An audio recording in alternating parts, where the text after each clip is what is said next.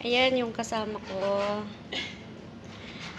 Nag-prepare siya ng aming lunch. Ayan. Tagaluto. Siya na ngayon tagaluto. Tagapagmana ko.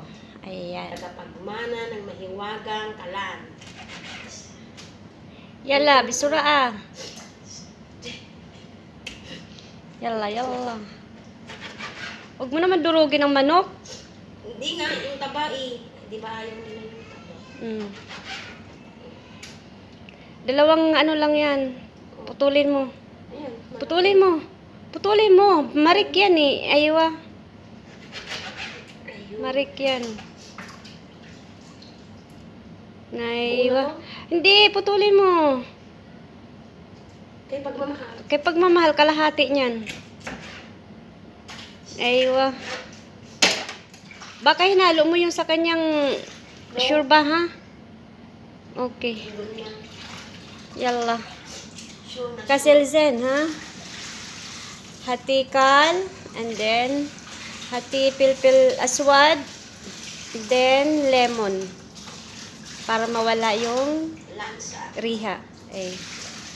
Yalla. Ayan ang kanyang mga panghalo sa kanyang lulutuin today.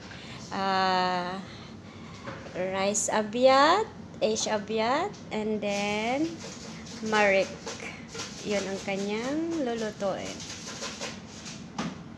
Tagapagmana ko yan.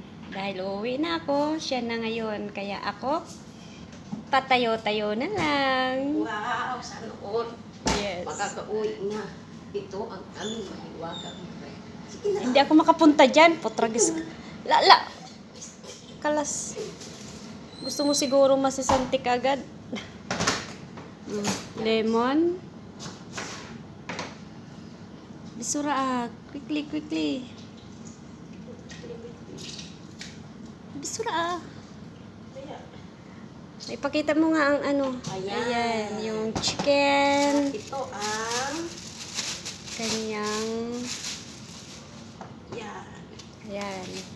Ulam ng aming reyna. Reyna. Hatiin mo yan. Ay, malaki. Oo. Ayaw niya ng malaki. Pantay ha. Ayun.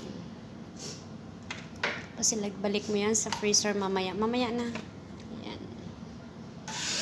Lagyan mo yan ng lemon, pelpel aswad, at saka yung mga barat-barat mo. Kunting lemon lang kasi malaki yan. Malaki na ano. Tapos, o-oven mo yan mamaya. Okay na? Okay na. Okay, kakat ko na to. Bye-bye. Abangan nyo ang susunod naming mga gagawin.